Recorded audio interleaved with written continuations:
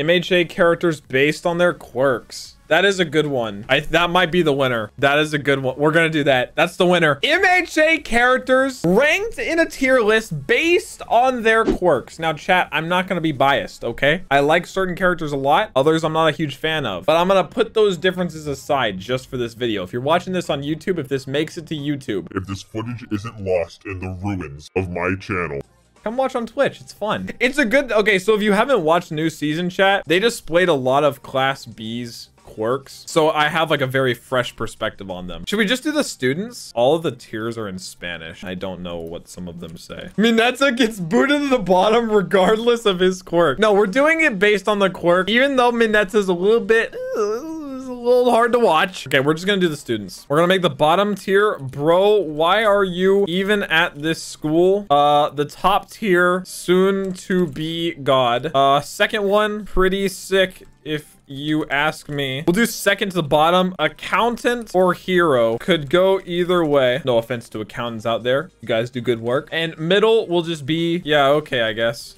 That's pretty good, right? Let me zoom in a little bit. All right, who do we start with? That's the that's the question of the day. Who do we start with? I feel like we should start with Deku, to be honest. Now, chat, just before we get started, this is based on, I don't read the manga, okay? This is solely based on where the anime is okay. Um i'm like two episodes behind. Yeah like two episodes behind. So yeah i have watched a lot of season five. So i'm doing this chat based off of what's happened in season up to season five. Like in season five we're gonna talk about season five which there aren't like insane spoilers. It was just like what their quirk is. So if you don't want to hear about that this is your warning now. We're gonna talk about some of the stuff in season five what they do what their quirks do. So uh, we'll start with Deku. I feel like I have to rank this based off of his power level now. Like, of course, Deku has the potential to be stupidly insane, especially with what we learned in season five. But right now, we'll put him at pretty sick, if you ask me. Or do we do soon to be God? This is already kind of difficult because, like I said, soon to be God. I feel like I should just name this like, we'll call it valedictorian. I think De Deku should low-key be S tier. I think valedictorian makes more sense because like I said, soon to be like that's hinting towards like the future. I think he has a lot of potential, but we'll put him at the valedictorian. Next, let's do uh his buddy, his pal Bakugo, his best best of friendo. Bakugo's already shown some development in season five, right? He's already proved that he knows that he's he's kind of open to learning a bit, right? I think Bakugo for me is gonna go at pretty sick, if you ask me. And again, we're basing it off the quirk, right? We're basing it solely off the quirk, not his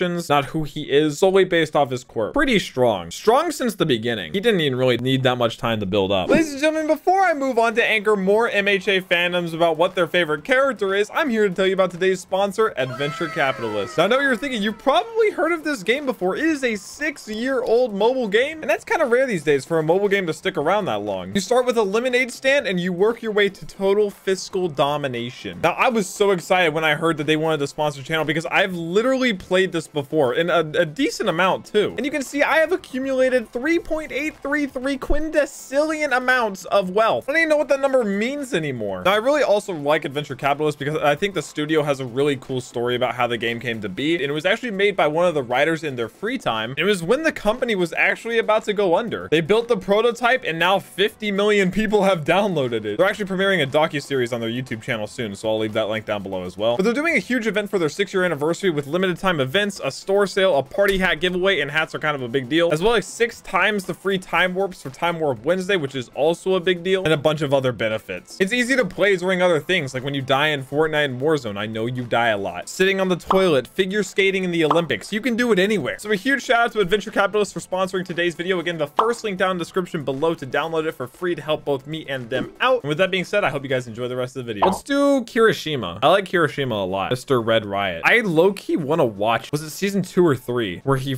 uses like Red Riot for the first time? The season four? Sheesh, I need to rewatch MHA. That's a sick moment. I think solely based off the fact that he can hold his own in like that kind of scenario, we'll, we'll, we'll put him at pretty sick if you ask me. Was he the one with Fat Gum? He was the one with Fat Gum, right? Yeah, that was sick. That moment was really cool. That was kind of unexpected too. Yeah, Kirishima had a very big breakout moment by himself. Next, let's do, oh, I want to do someone that I'm, I'm tempted to rank lower. Again, we're basing this solely off quirk. Uh, I think Shoji is next for me. Now, guys, th again, this is the dude with all the arms, right? I want to, wait, I need to pull up a tweet for this because there's a certain tweet I want to reference. Okay, here it is. I think this is it. So this is what I think of when I, when I see Shoji. So the MHA, the MHA account tweeted out, you couldn't ask for a better lookout, right? And someone said, and yet he's looking in the same direction with every eye. And they're kind of right. And that's all I think about now when they show him. I start to wonder myself, what's he really doing here, right? Yeah, they're kind of skewed in some form or fashion, but that's all I think about when I see his character now. I'm gonna say accountant or hero. It could go either way, you know? Not to say he's worthless, like, bro, why are you even out of school? But he could be an accountant or a hero. I think I'm confident in this decision. Who's next? Let's do the ink bottle. The manga, the manga. What's his name? His name's Manga. Fukidashi? We didn't really know anything about him until season five. I wish I had watched these episodes like yesterday. I watched them like a, a couple weeks ago. Pretty cool. Um, if you ask me, pretty cool isn't pretty sick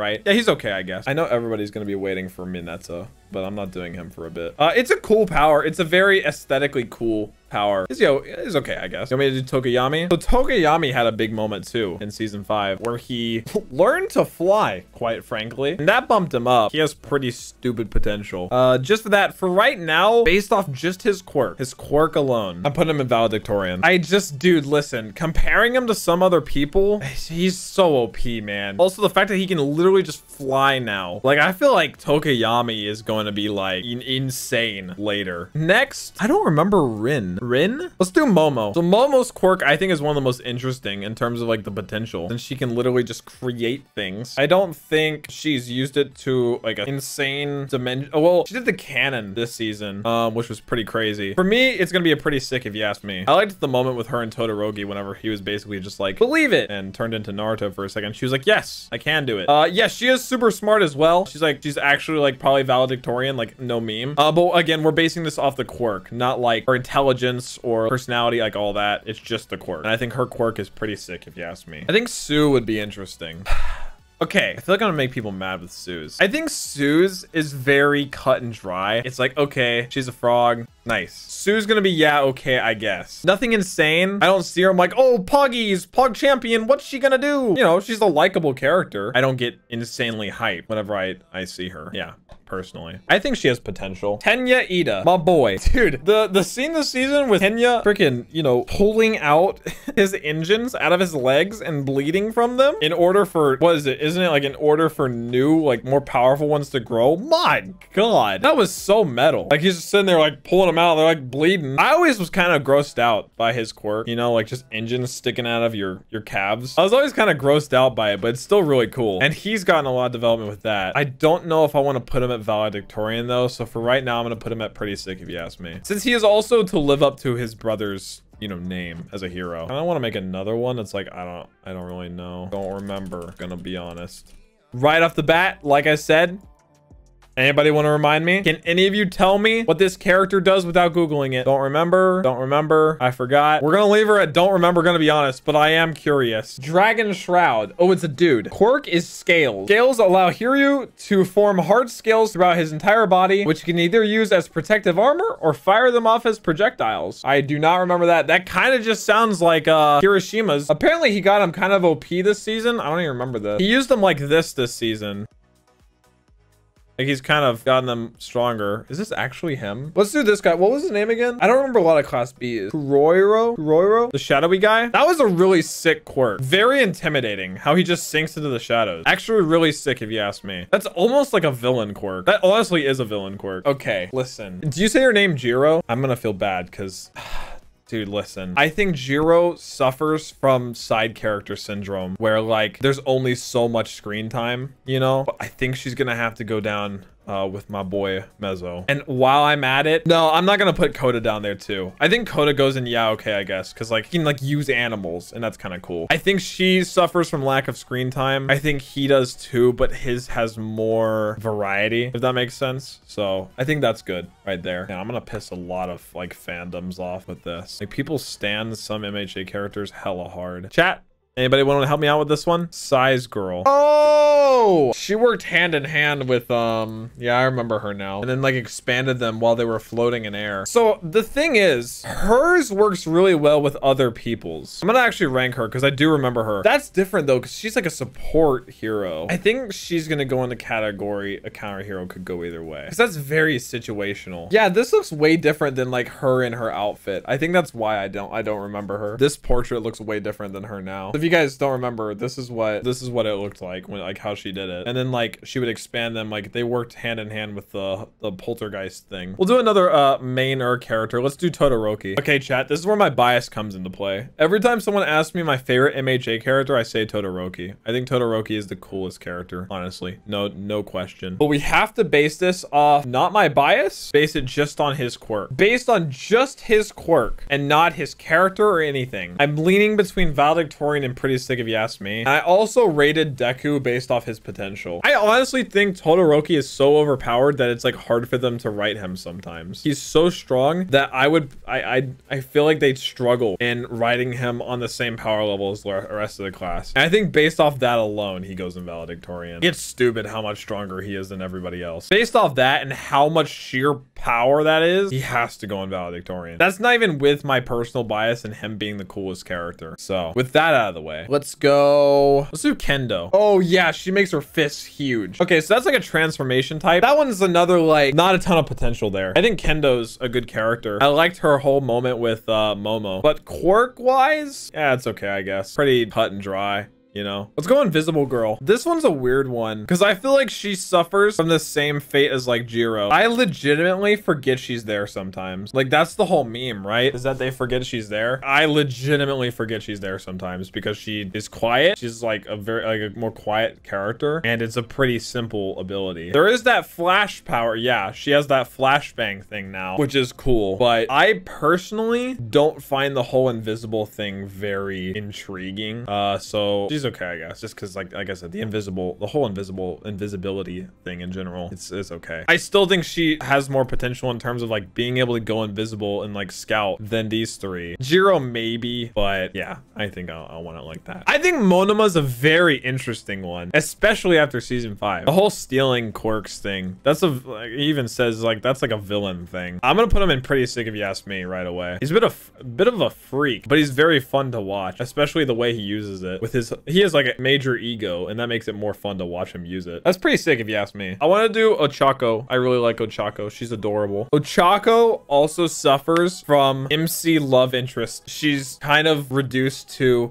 Deku, you know. Um, but we're here about her quirk. Like I ranked Monoma based off like his personality because it kind of goes hand in hand with how he uses his quirk. But her her quirk's pretty strong and has a lot of potential too. I'm going back and forth between these two, but I think I'm gonna leave her in pretty sick if you ask me. She's saved the day a couple times. I think it's a, a step higher than these five currently. I don't think she would like rank up to like Bakugo, but it's hard to compare because his is like blunt damage and hers is like support. Even though they're in the same category, I wouldn't compare them, right? So I think I like them there. Let's do this girl. This absolute psychopath, okay? This absolute psychopath that grew mushrooms and my boy Tokoyami's throat and lungs. Absolute psychotic behavior. Please kick her out of the school. Actually, throw her in like some alley and run. I'm gonna make her own counter. Kick her out of the school. I'm scared. Act no, actually, she's in her own section. I would be absolutely petrified if she was a villain. You know how taken aback I was when I saw that? Bakugo wants to kill everyone? This scared me more. What's his name? The guy that grows into the beast. Shishida. Yeah, he's pretty cool. I liked him in this season too. I think he's gonna go in pretty sick if you ask me. But it's another one of those where it's like, okay, we've seen this before, but it's still pretty cool. Mineta should be kicked out because he's not tall enough to work a desk job. Okay, dude. He didn't get as much time as he should have? Yeah. I mean, we only really got to really see him this season. Okay, this kid, the like the double tap thing. I still barely understand his ability, like how it works. Okay, twin impact. A decided impact create a second impact remotely. So like I, I like I said, I watched this season and I was still a bit confused on it. So it's kind of like a like a redirection. Think of it as like the the balls in Demon Slayer where like they redirect. That's how I kind of see it. It's a bit of a very specific quirk. It's cool though. I think he's going in pretty sick if you ask me. It's very unique. What does this guy do? The glue. He shoots out the glue. Yeah, very weird character. I really like his design, but it's just like,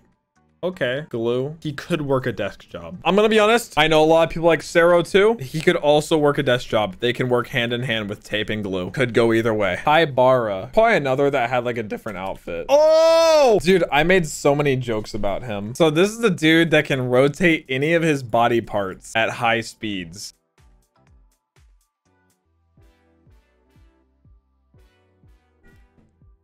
Chat. Guys, Guys, hear me out. That is astronomical on the quirk scale. Okay, I, I couldn't believe my ears when I heard that. I looked at Naomi, I was like, no shot. That's incredible. Good for him.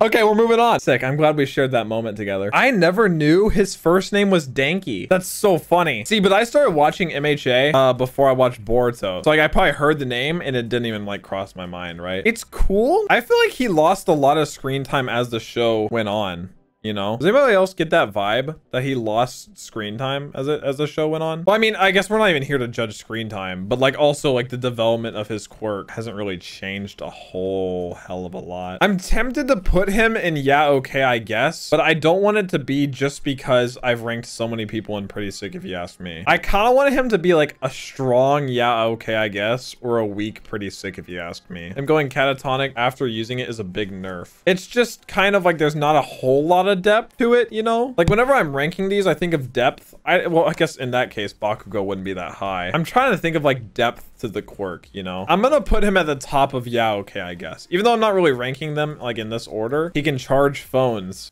Okay, next. No, I'm just kidding. what do we gonna do next? I'll let chat pick the next one. The Vine girl, what's her name? Like I said, a lot of the class B names are really like, I don't... Oh, Shiozaki. Yeah, so she has the vines. I'm gonna put her in pretty sick if you ask me. I think she got nerfed really hard in the uh, the fight they had. But, like, she had, like, all those vines out and could detect if they, like, were there, you know? I think they nerfed her super, super, super hard for the fight, though. But I think her quirk is pretty sick if you ask me. The girl who speaks uh, English and sub is S tier. Oh, is her name actually Pony? Isn't she, like, an exchange student? She's an exchange student, right? That's why she speaks English. Doesn't she and someone else speak English? What's the depth of her quirk, though? So that she makes the the horns that she can shoot, right? Strong enough to restrain Shoji. Thrust away Tetsu Tetsu can turn his body into metal. So her horns are pretty strong. Aside from that, it's kind of just, it's okay, I guess. I don't think she's low enough to be a count or hero. Like, I mean, like they said, she can literally restrain him, who's known for his physical strength. No, she can fire them off in succession. Well, she has to, but she grows them back that quickly. Yanagi, was she in these fights? Oh yeah, she used Poltergeist. Oh, she's the one with the big big hood on. That's why. I was like, I don't recognize her. Yeah, she has the big hood on. So she went hand in hand with her. Yeah, that's another support thing though. She can like move objects around. I think it's still cooler than this tier. So I'm gonna put her at okay, I guess. Because Poltergeist is cool. And I think it's cooler than like resizing objects. We're getting, uh, we're, we're, we're getting there, chat. Oh boy, uh, what's his name? Sato, the dude that eats sugar, uh, gets stronger with sugar. It's like, it's like a steroid basically, like an insta steroid. That's pretty sick if you ask me. I'm not gonna lie. Yeah, Sugar Rush. That's kind of funny. Let me just carry sugar around and gets big and beefy. Yeah, that's pretty sick if you ask me. I still kind of feel bad about Denki. I might move him at the end. I'm not sure. Uh, do we want to do Mineta? Everybody's favorite character? Okay, chat. Let's set aside our biases, right? I know a lot of you don't like Mineta at all. I'm not the biggest fan of him. I'm tempted to put him in his own category that just is called just Mineta. But let's think about his quirk, chat. We have to not be biased. I know he's a little pervert. We all know it. Even people that like him know it. But we gotta think about his quirk. The berries, bro. The berries. Listen, if he didn't bleed when he used his only ability, I think it would be kind of high up. But my man literally bleeds because of it. Like, he actually bleeds using it if he uses it too much. I personally think it's a more interesting quirk than, like, the glue, the tape, the resizing. And I think it has more variety. His hero costume is, is really terrible. Yeah, that's true. But, again, we gotta focus on the quirk.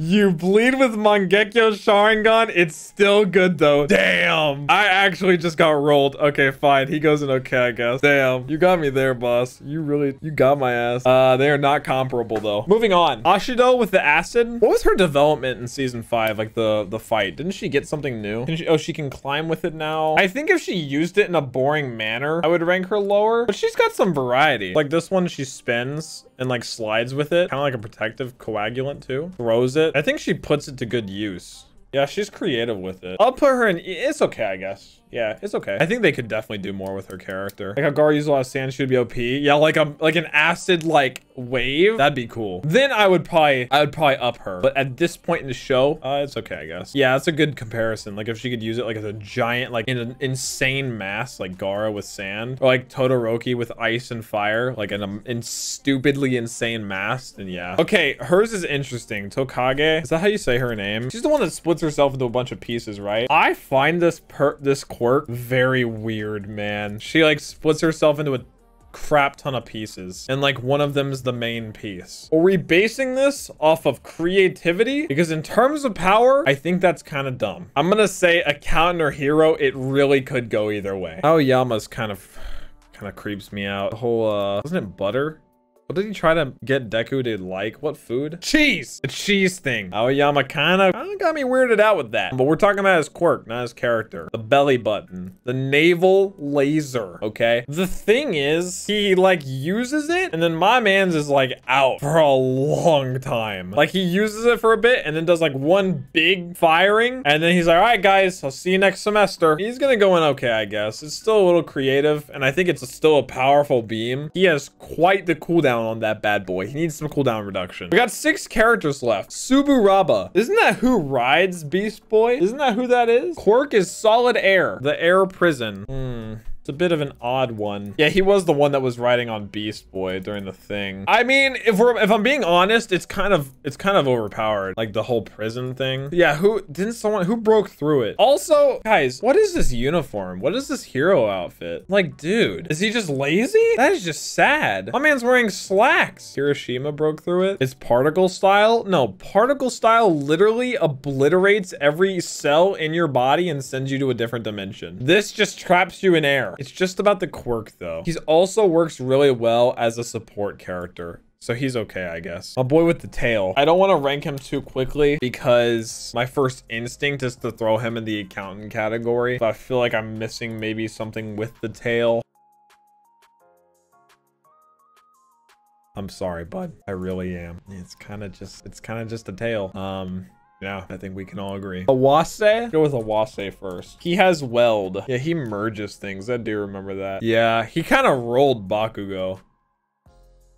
I feel like solely for this scene, he deserves to be placed higher. Like, my man could have been just like your average, like, you know, he's like doing his thing, but that was pretty sick. I'm not gonna lie. That is pretty sick if you ask me. Um, yeah, I do feel bad about the skill guy. We'll, uh, we'll rank him. Solely based off the scales, he will go in, it's okay, I guess. Uh, but we will give him a category. We'll make him feel less left out. Honenuki. He has the softening ability. Oh, he wears the, the thing, right? Mudman? Yeah. Anything he touches softens, effectively turning solid objects into liquids. Ooh. Oof. Must yeah, no, she will stay left out. Yeah, no, I'm not moving her. Tetsu Tetsu's Kirishima, but class B. Yeah, kind of true. I feel like we can already throw him there. Where are we putting Mudman? I think it's just okay, I guess. I don't think it's an accountant style or like accountant level ability, but I think it's okay. And what's our last guy? Kamakiri. He was the uh the insect dude, right? I really like his design. I actually do really like his his like hero design. I think it looks really intimidating. But we're not talking about design, we're talking about the quirk. What are the depths of his quirk? Razor Sharp is useful in close range combat, allowing him to quickly and easily slice through objects in his path. He's been seen producing blades from his forearms in order to attack and producing blades from his feet in order to stabilize his footing. Scyther, yeah, pretty much. I feel like he's another one where he has like he could be really cool and have like a final form-esque thing, but hasn't gotten there just yet. So for right now, he's okay. I think he could very easily be up here and maybe even up here, but it is definitely better than just a tail. Well, chat, that's it. I think that went smoothly, honestly. I think we did a great job. In fact, I'm gonna say now, I'm gonna move manga up to pretty sick if you ask me. Now that we've kind of evaluated our standards and whatnot, I wanted to move him up a little bit because I think he's really unique. He's like an ink bottle, dude. That's so funny. But that's kind of it. I like this a lot. This was a solid tier list. If you're watching this on YouTube, drop a comment down below on you think you would change about this. I'll even link it in the description chat. I'll link it for you guys as well. If you want to do it, post it in Discord or something. But yeah, I think that's solid. If you're watching this on YouTube once again, check out the Twitch channel, twitch.tv slash jack the bus so you don't miss more of these live. We'll catch you in the next one. Peace. You guys were very, very well behaved for YouTube. Thank you.